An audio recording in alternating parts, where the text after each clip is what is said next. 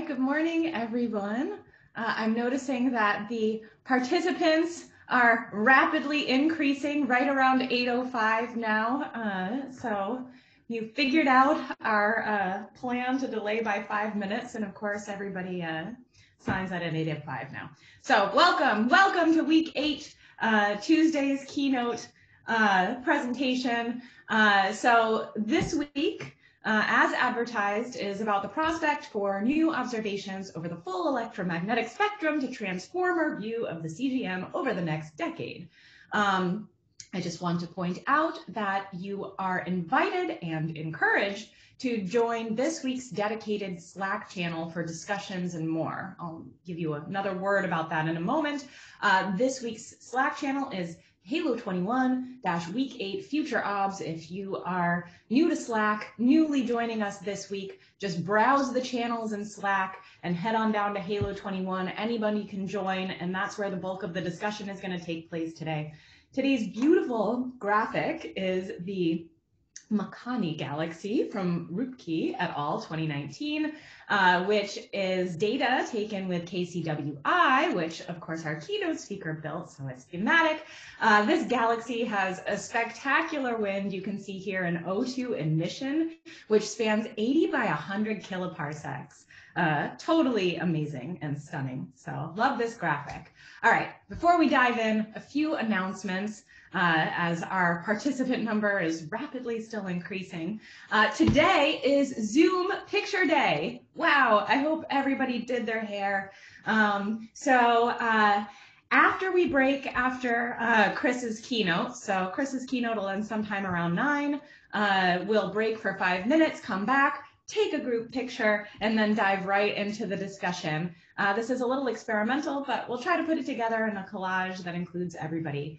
Um, okay, so uh, another announcement is to join the Halo 21 Legacy channel.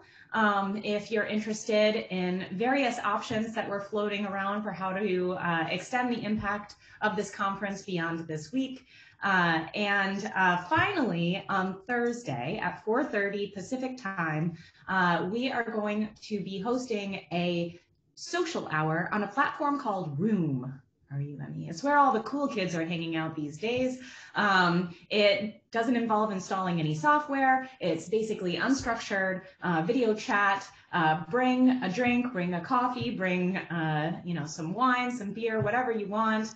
Uh, it allows for spontaneous breakout rooms to occur. Um, and uh, it all happens in your browser. Check out Halo 21 Socializing uh, for details, including the link to the room.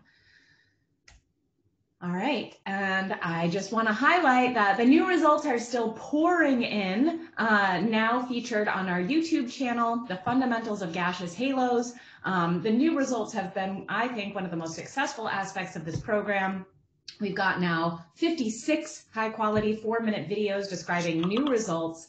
Um, and uh, and so this week, new this week, Nikki Nielsen has uploaded two uh, new videos recently, uh, as well as Bron Reichardt Chu, uh, Sui Zhou, uh, Zhuye Li, and Roland Sakic. So check those out. Uh, they're not only posted in Halo 21-new results, but they're also on our YouTube channel, which you can just stream in the evening with your feet up and a beer. It's amazing. Uh, so go check them out. Now, in addition to these new results videos, we've also got some new instruments videos. Uh, and right now, as of this moment, we have two videos, but I believe there are going to be more featured throughout this week, which I'll continue to try to advertise. The two videos that exist right now on the new instruments playlist on YouTube or in the new instruments channel uh, are uh, on Arcus by Randall Smith and Blue Muse, Blue Muse uh, by Johan Richard. Uh, so uh, check those out if you're interested in some of the new capabilities uh, that are uh, potentially coming online. Uh, I don't know, someday soon. Learn when, watch the videos. Uh, okay, so let's see. Slide stopped advancing. This week's featured conversations uh, that we heard from yesterday, Halo 21 emission, uh, Halo 21 new instruments, and Halo 21 parametric model. I just wanted to uh, let you know that there's a couple after parties scheduled. I haven't heard yet if Halo 21 emission is scheduling an after party. These are um, separate Zoom uh, sessions uh, run by the co-initiators uh, and the Zoom links are in the individual channels. I know that the new instruments channel is having a, a new instrument roundtable discussion uh, on Wednesday from 10 a.m. to 12 p.m. Pacific. Uh, Gwen will post the Zoom details in Halo 21 new instruments uh, if she hasn't already. And um, Halo 21 parametric model has an after party today uh, at 12 p.m. Pacific. So everybody is welcome to join these after parties. They're just different Zoom links that you have to look out for. All right. And my, my last comment before I quit uh, blathering is on uh, how I'm going to run the panel discussion. This is, this is my week. I'm the captain now. And I demand that you use emojis. This is the future, everyone. I know emojis might make you uncomfortable. Oh, they're for five-year-olds, but they're what we've got and they turn out to be a useful tool. So throw your pride away and get on the emoji train. Think of them like hieroglyphics. They're a whole new efficient way to communicate. Somebody's making a comment you like, you can't nod enthusiastically at them, you know, and expect that they're going to see your video. You can't sneer at them when they trash your work. Instead, use an emoji. It's amazing. And what I'm going to do when I run the panel discussion is I'm going to look at the user submitted questions and comments, and the ones that have the most reactions to them are the ones that I'm going to bring to the panel to discuss. So your emoji is uh, kind of is powerful, okay? And the range of reactions available, you can see here is immense, right? You can swear at someone, you can call someone a liar by giving them the Pinocchio emoji, uh, or you can, you know, give them a heart, 100, that's good. Um, anyway, so, uh, so please use emojis. All right. And now, without further ado, I would like to introduce today's uh, keynote speaker, Chris Martin. Uh, he has over four decades of experience building space, UV, and ground-based instruments targeted at the dim matter of the CGM and IGM. Uh, of course, he's responsible for bringing GALEX to fruition. I think one of the most successful small explorer programs ever. Also Fireball, KCWI, XCWI, and probably has a number of exciting projects in the works, maybe that he'll tell us about today. Uh, after receiving his PhD in 1986 from UC Berkeley, he's authored many, many papers. Fun fact, it's hard to actually figure out exactly how many papers from ADS because uh, he's confused with another uh, giant in the field, Crystal Martin, who happens to be here too on the panel. So between them, they have over a thousand papers, it turns out. Um, and uh, also on the panel uh, is uh, Joe Burchett, Chuck Steidel, and Sarah Tuttle. This is an absolutely incredible panel. Uh, I can't wait for the discussion after the talk, but first up, we have the talk. So I'm going to stop sharing and let Chris take the floor. Hi, everyone. Uh, this is a fantastic conference. Uh, it's too bad it's ending this week, but uh, hopefully we'll have a lot of fun in the last week. Um, so um, there's a huge amount to talk about. I can't talk about everything, so I'm not going to be talking very much about uh, work done by uh, a, a, number of my uh, distinguished colleagues, including Chuck, and all the work done by Muse on Lyman alpha halos and QSO nebulae um, but I'm going to try to have a, a, more forward-looking picture of what may be possible with this uh, this technique. So uh, uh, many people are, are, have have worked with me on on on this for a very long time, and uh, I can't individually acknowledge them. But uh, here's a here's a here's a list. So uh, the the basic structure of this talk is to talk about why do emission, some new and proposed instruments that'll act as a context what, how we try to extract physical properties, some applications, and I'll, I'll go through those more or less echoing the, the, the, themes of the conference, and then very briefly on future missions. So uh, I've been thinking about this for a very long time. This is from a talk I gave pre-decadal 2000, recognizing that the IGM and what I call the PGM, the pre-galactic medium is extremely fundamental for understanding how baryons form structure in the universe, uh, and that both emission and absorption would be key to, to tracing these phases of the universe. And I was inspired as a graduate student by this paper by Lyman Spitzer. The idea that the galaxy had a corona was an amazing idea to me. And, uh, you know, many of, it's a beautiful paper if you go back and read it. It's one of those one, wonderful papers in which uh, there's so much physics. It's, it's, it's a joy to read.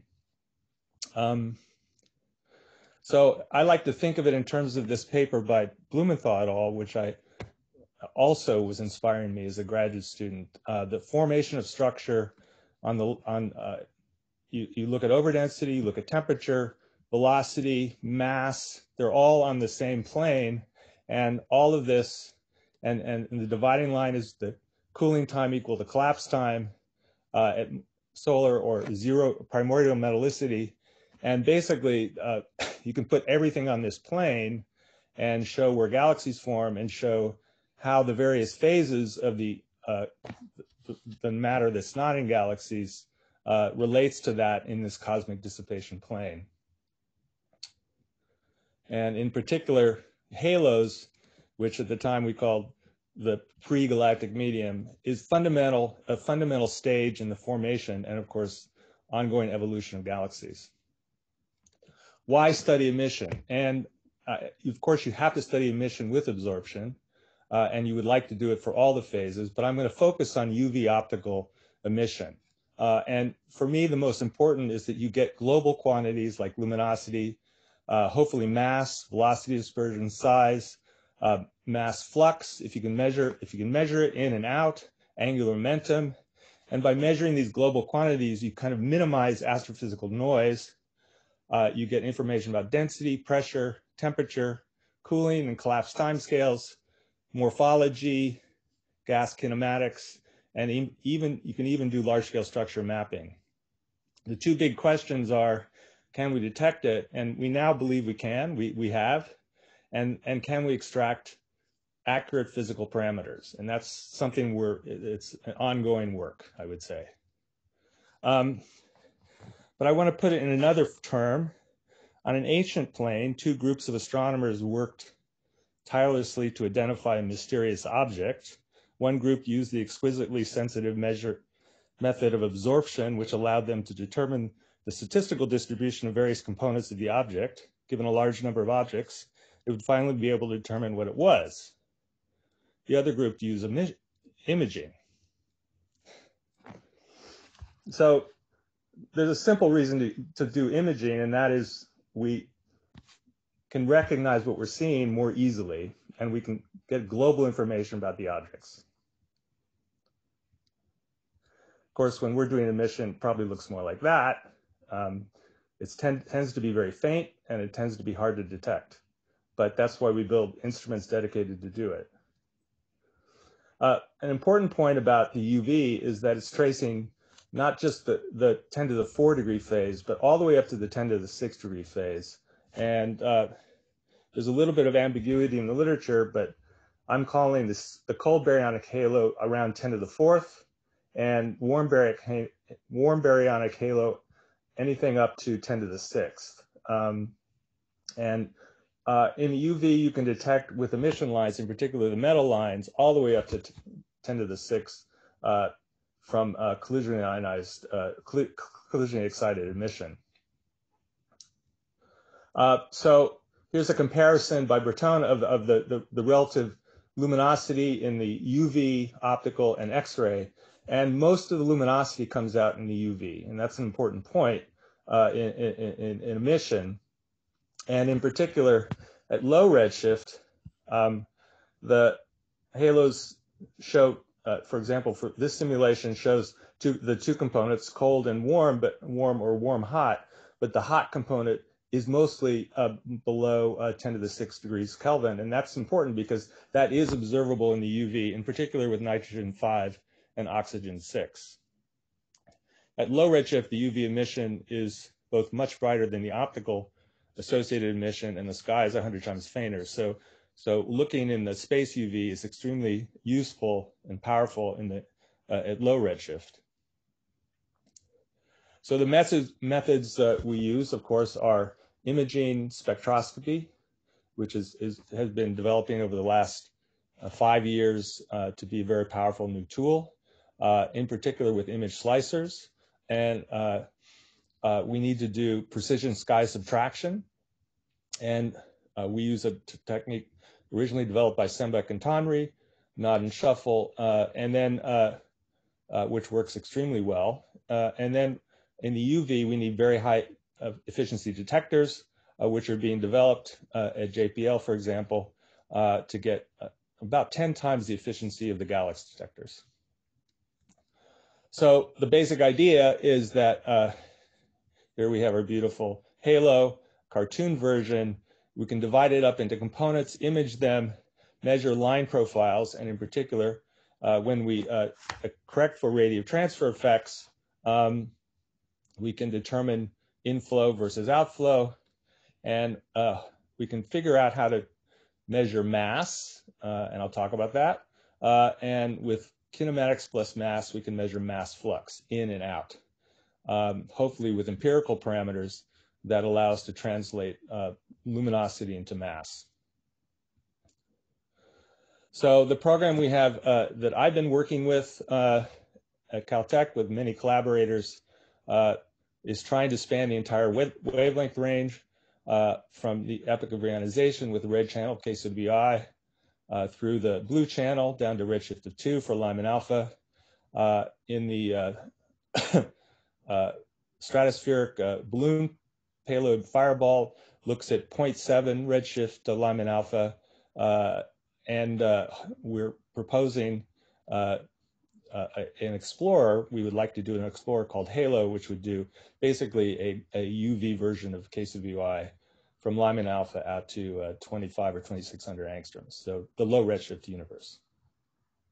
Um, this all started uh, when three graduate students and a postdoc built uh, the Palomar Cosmic Web Imager, uh, which was first on Sky around 10, 2012. And it was really designed to do this very low surface brightness uh, uh, emission from the CGM and the IGM uh, and, uh, and do precision sky subtraction using nod-shuffle. Uh, that led to the uh, Keck Cosmic Imager, which was commissioned, the blue channel was commissioned in 2017, and uh, it, it, it, adds all the benefits of the Keck telescope uh, with, to um, a much more flexible configuration. You have small, medium, and large slicers with a variety of uh, uh, gratings that give you a variety of uh, spectral resolutions. Uh, and again, the nod-shuffle capability. This shows the high resolution capability uh, R of close to 20,000 using the small slicer on a globular cluster. Um, and we're building the uh, Keck Cosmic Reionization map, Mapper led by Matt Matuszewski, and we're hoping to commission that next year. Um, and in particular, it should go out to almost 11,000 angstroms, which will allow us to probe Lyman alpha uh, close to the beginning of what we now believe is the epoch of reionization.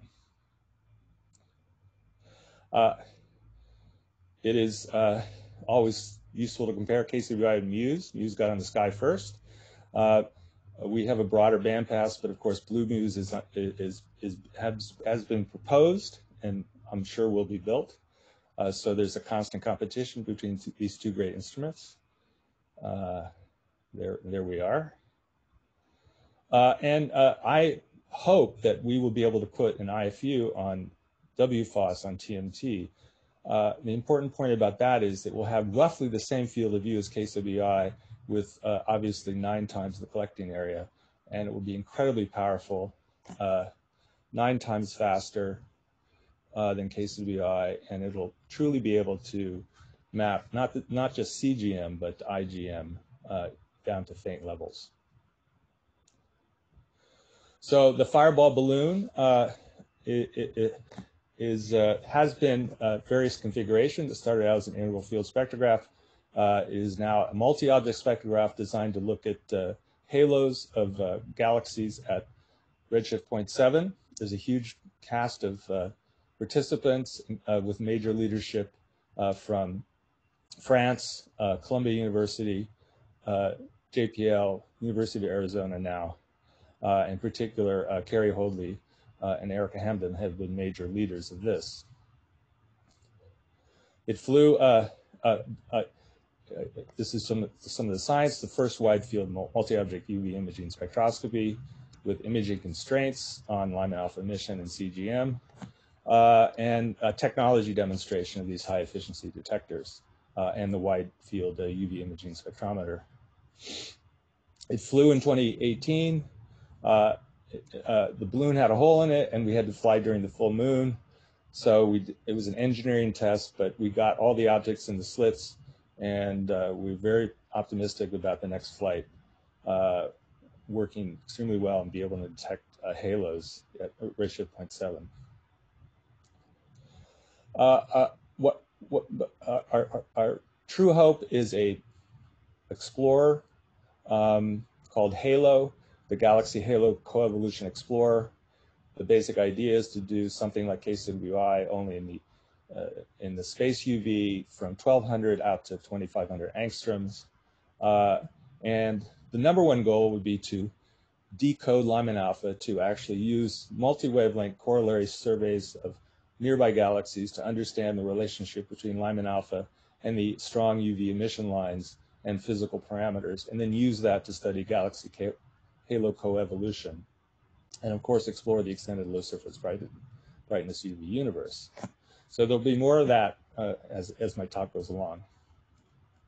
Uh, how do we extract physical pro properties?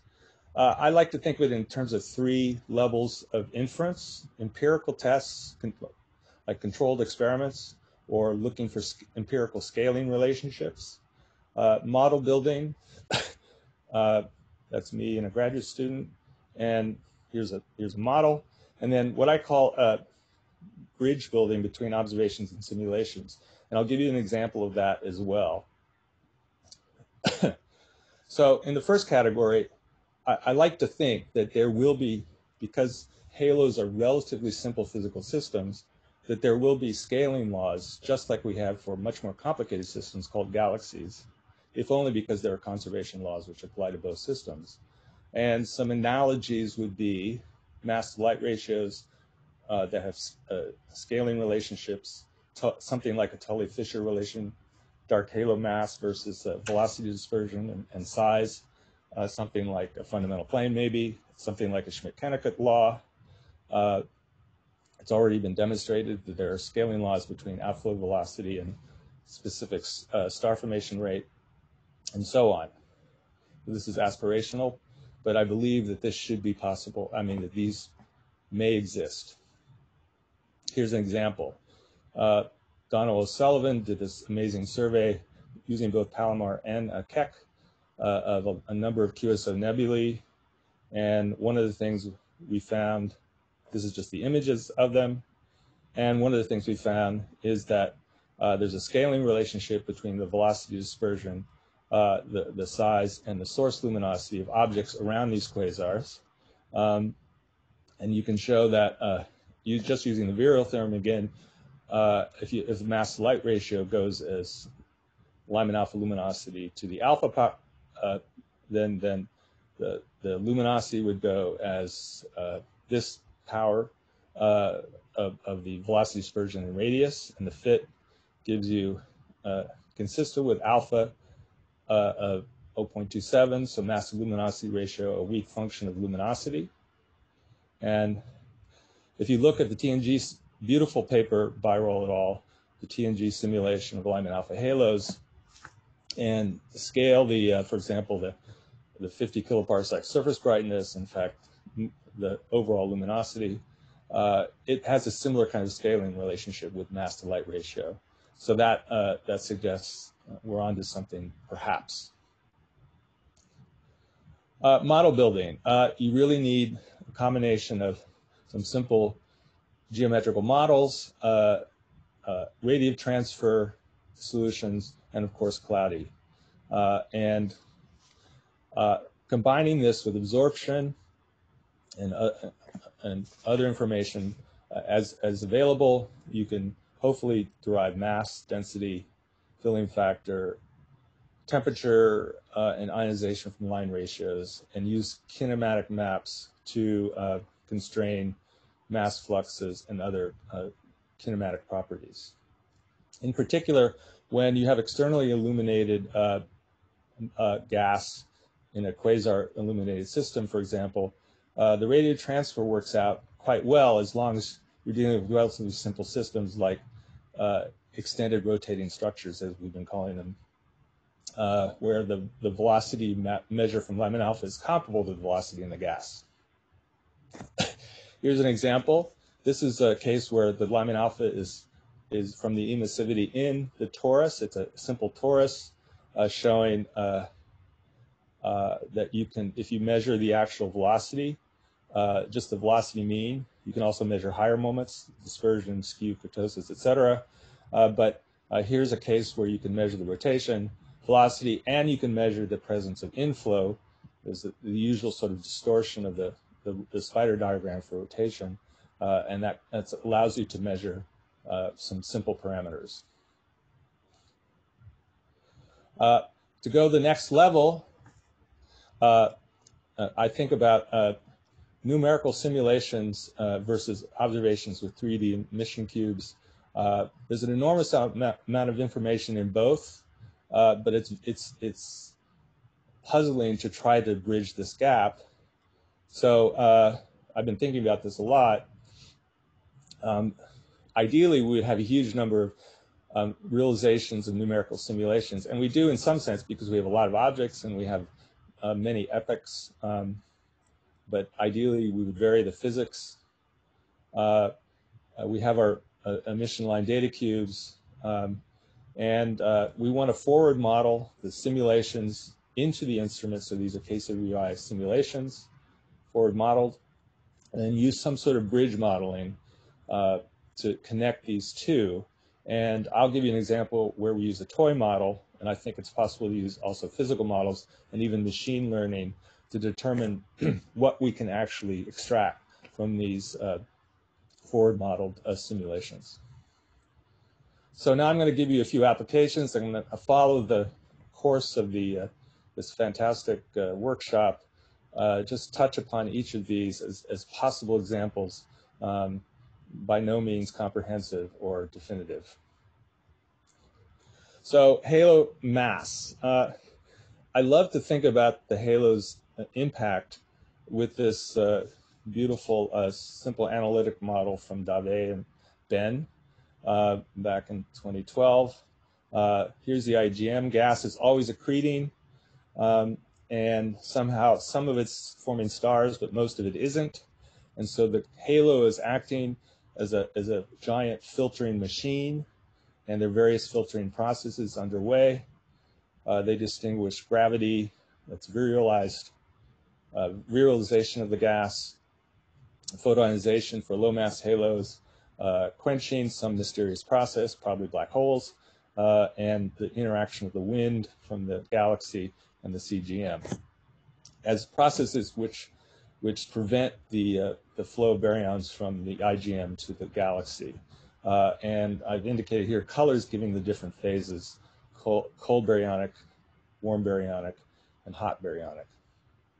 So uh, if we can survey the entire what I call galaxy HR diagram, uh, and HALO would be able to do this at low redshift, specific star formation rate versus stellar mass, um, uh, and, and look at different uh, stages of uh, galaxy evolution, main sequence, green valley transition galaxies, and red sequence. Um, uh, the, from, from that picture that I showed you before, the Dave picture, uh, you can imagine the mass dependence the dominant processes for low mass winds, medium gravity, and high mass quench. And one might expect that the ratio uh, CBH to WBH would be low, high, and low in the three cases, and that the, the mass flux uh, in the cold or warm would be uh, pre preferentially out, in, and out, or low in this case. Um, this is notional uh, me, uh, also measuring halo mass. Is it possible if we have this extended gas to actually measure halo masses kinematically. Well, we did that with uh, the PC, the flashes survey, O'Donnell in, in, the paper published last year, uh, and we got a result which was consistent with what we expect for the quasars, uh, hosted by halos of roughly 10 to 12.5 solar masses. So uh, uh, that's that's encouraging that you actually can, in spite of radiative transfer and all the other issues, uh, use the kinematics to explore um, the halo mass. Okay, multiphase. Uh, uh, I want to make a point here that um, we can detect all the way up to 10 to the 6. This shows various lines. This is O6, for example, uh, as a in a collision ionized halo. Uh, uh, relatively low mass in, in the baryons in the warm phase, uh, but it is detectable uh, in the UV by a, by emission like halo, um, and uh, both both O6 and nitrogen 5, uh, all the way out to 10 to the 6th. Um, and uh, of course, it's a emission at a lower temperature is detectable uh, with, uh, different lines, um, carbon 4 in particular, carbon 3, uh, and line ratios allow you to extract both metallicity and the temperature of this phase, this multi-phase gas, uh, or determine whether it's a temperature distribution. An example of that, in terms of ionization, this is a paper that hopefully will come out in the next couple of months. Uh, a, a, quasar Z of 2.5, where we detect an outflow with multiple lines. Uh, and uh, this is the radial uh, integration of the spectrum showing a large number of lines. Uh, and when you try to fit that to uh, ionization parameters, uh, you really have to have a distribution of ionization parameters. Um, and this shows you the, the fit is, is the line and the ob observation the observed line ratios are the dots. Um, and this shows the distribution of ionization parameter you get and the distribution of associated filling factors that come from that fit. So by combining various line ratios, you get a, you get constraints on the distribution of both ionization and filling factor, uh, i.e. density. Uh, non-thermal components. Well, I think uh, it's very clear. You just look at this picture from um, Ji et al. Uh, that you're going to see something different in emission uh, if there are cosmic rays or not. Uh, and uh, if the picture doesn't convince you, uh, the, the distribution of temperature and, and, density is hugely different and in particular very impactful on the emission uh, from these halos. So uh, this is an important constraint that will come from emission observations. The Milky Way, well, this is where I started many years ago, and with the um, inspiration of Stu Bowyer, who passed away last year due to COVID-related illness, um, we flew this experiment on the space shuttle that detected from the uh, Milky Way halo carbon-4 emission. And uh, uh, since then, uh, FUSE has seen O6 emission uh, in many areas of the halo, and uh, however, there has not been a lot of uh, analysis of, of these. There's also the SPEAR experiment, which detected many lines. Um, and uh, I think this all relates back to Joel's original paper, another inspiration for me on the galactic fountain um, and, and the transformation of gas from uh, perhaps condensing out of a hot halo into into intermediate temperature phases and condensing on, onto the Milky Way. Uh, okay, uh, outflows. Uh, I, I, showed the radial spectrum uh, uh, and the multi-ionized, the multi-component uh, ionization spectrum of this QSO outflow. Here are some images. We see it in Lyman alpha, helium, nitrogen 5, carbon 4. Here are the line profiles. Um, and uh, we can show that uh, radiative transfer um, allows you to uh, measure line velocity moments quite accurately. And one of the most amazing things about it, it's, it's, it's a very clear bi biconal outflow, uh, uh, which fits it quite well. But you can, in fact, with this KCWI data, fit uh, show that there has to be rotation in the outflow. So this is kind of a surprise. It's the kind of thing you get out of imaging uh, that, in fact, you have rotating gas in an outflow. That means that angular momentum is actually being ejected by this outflow, which is surprising. And this shows the velocity map and the, the velocity model that shows this uh, behavior. This is amazing paper that uh, Jess just referred to, the Makani wind starburst merger, um, giant uh, bubble outflow from uh, with a diameter of 100 kiloparsecs. Amazing, amazing object with, taken with KCWI.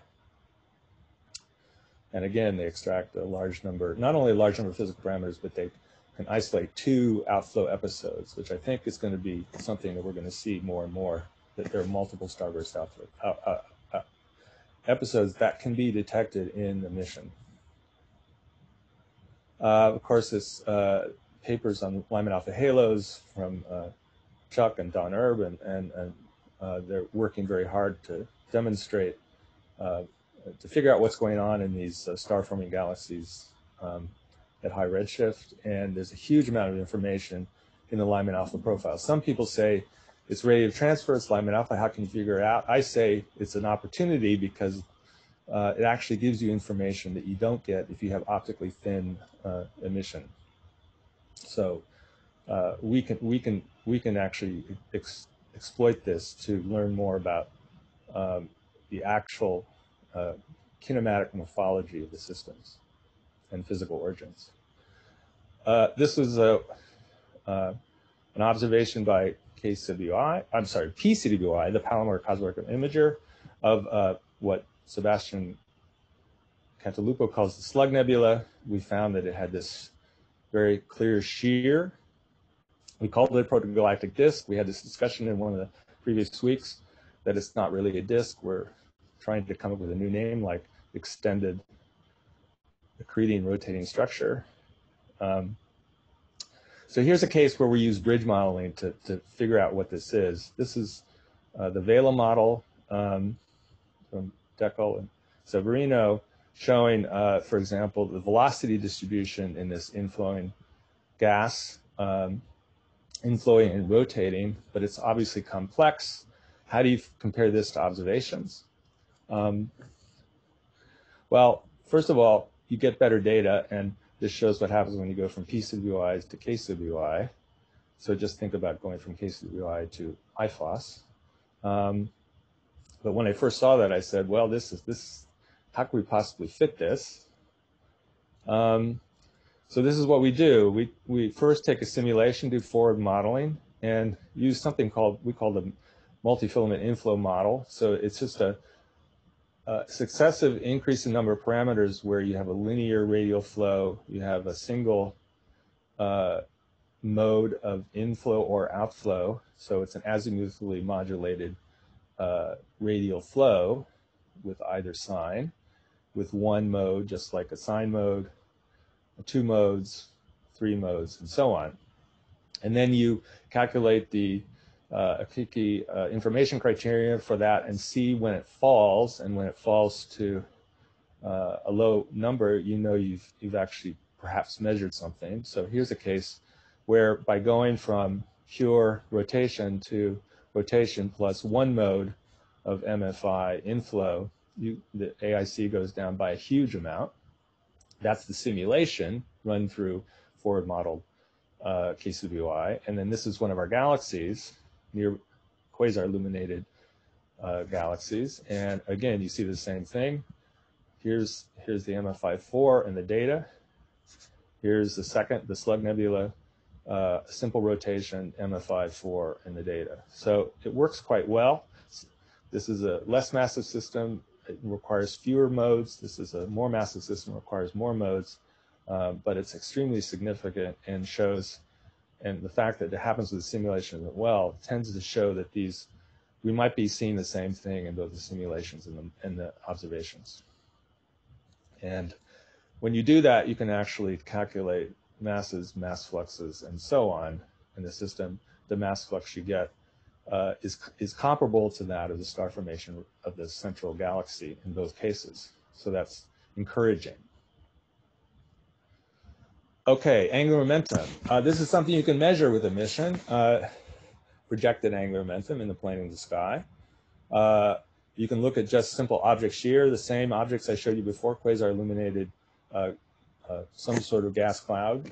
Uh, this is the distribution of shear, and we do find, we went in search for other objects like these extended rotating structures, and we found a distribution of shears, but there are uh, an, of order of 20 sources that have very high shear. Um, you can measure the uh, angular momentum parameter uh, of the gas, and this is the distribution you get, and this is the log normal uh, halo lambda uh, distribution for halos, uh, angular momentum. and it seems to seems to fit. There may even be some what I call spin orbit coupling. The sources you can compare the source angular momentum to the angular momentum of the whole system. Uh, and there seems to be uh, an excess of sources that have their angular momentum either aligned or anti-aligned with that of the uh, overall system. Uh, and uh, the fact that they could be anti-aligned could just be the orientation ambiguity. So that's that's an interesting out, out, out possibility that you can only get from imaging. Okay. Uh, redshift dependence. This is, I like to think of all these kinds of observations as controlled experiments where we vary one parameter, uh, halo mass, star formation rate. Uh, redshift. Okay, so um, this is a, this is a huge variation. Everything changes at low and high redshift galaxy size, star formation rate, specific star formation rate, angular momentum, quenching, halo size, halo density, filament size with respect to halo, um, galaxies hosting quasars, etc. Uh, here is a prediction for the CGM at low redshift in, H alpha mission uh, by Lokhorst they're trying to observe it with the uh, with the uh, uh, Dragonfly narrowband version. Uh, and we've been doing some observations uh, with KCWI to try to detect H alpha since we don't have a UV satellite yet. This has been led by Zeren Lin. and here's a case where we're observing um, a fairly bright, uh, massive galaxy with a high star formation rate. And uh, this shows that we're seeing uh, emission. Uh, it's noisy, but in fact, there's a there appears to be a large enhancement at a very at greater than 100 kiloparsecs, which is uh, quite amazing. And the overall emission levels are comparable to those seen by Lokhorst. Um, uh, and uh, the velocity uh, components, for example, the velocity dispersion seems to be rising in this uh, outer um, enhancement. Very interesting observation. Hopefully this will be published in the next couple months. And I just want to show the halo field of view again compared to that. With KCWI, of course, we have to mosaic this to get out to even partial away for the virial radius uh, with the halo field of view. Um, we get a lot more all at once. Uh, so, um, Galaxy Halo uh, evolution. Uh, the Halo mission, as I said, the first goal is to basically learn how to extract physical parameters from Lyman alpha and the other uh, strong UV lines. Um, and then uh, by surveying uh, galaxies over the galaxy HR diagram, uh, make connections between the halo properties and the galaxy properties in order to probe galaxy halo coevolution. So there'd be multiple surveys. A reference survey would do basically goal one, looking at, for example, all the COS uh, galaxies, um, looking at black holes, both uh, active and um, non-active. Uh, uh so this is my mental picture here's the galaxy HR diagram, and we get a large number of galaxies spanning uh, all these parameters. And uh, we correlate those with the halo properties that we measure in emission. Uh, and uh, in terms of cartoons, the goal would be to try to explain the baryon conversion efficiency curve, uh, the uh, equilibrium that's occurring on the star forming main sequence, uh, which uh, may be some sort of uh, balance between inflows, outflows, and star formation in the galaxy. Show that the mass metallicity relation is is connected to um, outflows uh, and try to show that how the CGM is responsible, uh, the, the, distribution of cold gas that can be accreted is responsible for the uh, fall in the cosmic star formation rate. And uh, so in terms of observables and conversion factors, we do the reference survey to measure these empirical conversion factors, and some, of course, will be functions.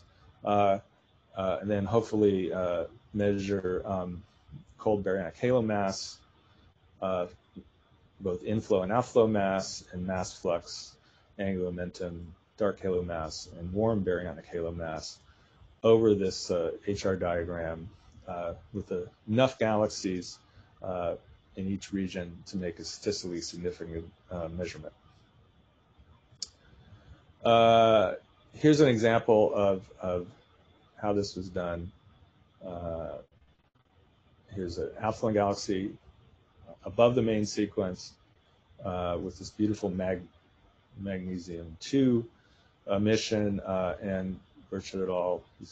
Um, did this beautiful conversion of the uh, uh, optically thick emission into physical parameters showing a large outflow flux uh, in this in this what looks like an isotropic outflow with KCWI. And uh, this you may even be able to see this post uh, post wind, post the star forming episode. This is a case uh, where there's uh, uh, perhaps a quenching galaxy, E plus A galaxy, showing what looks like a relic relic wind. Um, okay, finally, I think it's very important I've added a few topics uh, that we could have done if we had more, more weeks in this co conference. I think the CGM IGM connection is extremely important. And uh, all I can say about this is here's this beautiful picture from the Illustris simulation, the paper by Byrohl, showing a Lyman alpha and emission and showing, in fact, you can see the connection of these halos with the filaments of the cosmic web. Uh, okay, uh, what's the future? I promise that I will retire after all of these fly. Uh, uh, of course, we heard about Aspera. Looks like a great mission to look at O6 and nearby galaxies. Uh, we would like to do an integral field uh, MIDEX halo, but we might uh, also be able to do a long duration balloon that does it just at 0.7. Uh, if the Decadal survey decides we need probes, then I would propose a probe which has both integral field spectroscopy and multi-object spectroscopy over the UV. And uh, of course, in the future, and of course, there are many other ideas as well. There may be an 8 to 16 meter UV optical uh, telescope, but that's not going to be uh, in the next 10 years, I can say that, maybe not even the next 20. At high redshift, Redshift, of course, we're about to have a fully uh, equipped uh, KCWI with red and blue channel. Um, and HETDEX is under construction or almost commissioned, I'm not sure. Uh, blue Muse plus Blue Muse will be extremely powerful. I don't know what the status is, but uh, I, I, imagine it's going to be funded. I would like to see an IFOS on WFOS. I think that's going to be extremely powerful and one can imagine a uh, dedicated um, wide field uh, optical integral field spectrograph with ultra large field of view and precision sky subtraction. So uh, a mission like HALO needs broad community support. and would be a perfect complement to an X-ray mission like ARCUS. So this is the community that would be interested scientifically. And uh, I think it's important to remember this when you talk to your grandmother or funding uh, funding people, NASA people, like in the elevator, you have 10 seconds to make a case. Most of the matter of the universe is in halos. And maybe most of the action uh, determining galaxy evolution is in halos as well. And we've been spending a lot of time doing galaxies, uh, but uh, as this conference has pointed out, the, the potential for uh, understanding what's going on with galaxies uh, and structure formation in, by studying halos is incredibly uh, powerful. If you do an ADS search for galaxy plus evolution, you get 56,000 papers, 3 million citations. So uh, I think that I'm preaching to the choir, but I, it's time to try something new. And there's there's a hope that halos are the deus ex machina of galaxies, which is a plot device whereby a seemingly unsolvable problem in a story is suddenly and abruptly resolved by an unexpected and unlikely occurrence, bringing the tale to a happy ending. Maybe that will be the case. Um, and I just want to end by thanking the, everyone who participated in this conference uh, and thanking the organizers for inviting me and for their incredible work. I think they're they're amazing group, and I think they deserve halos. So, thank you.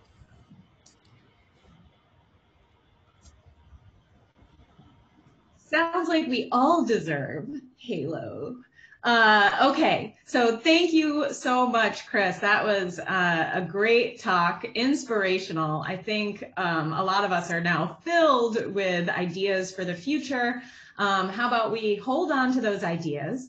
Let's come back at 9.05 for our picture, where then we will go right into the panel discussion. But until 9.05, so that's eight minutes from now, you know, do your hair, make sure you look good. Um, and then also head on to the Slack, ask questions, react to the questions that are already there using your emojis. And uh, and yeah, we'll see you at 9.05 Pacific time, so five after the hour, uh, when we'll take a photo and then we'll head right into the discussion. Thanks again, Chris, for a great talk.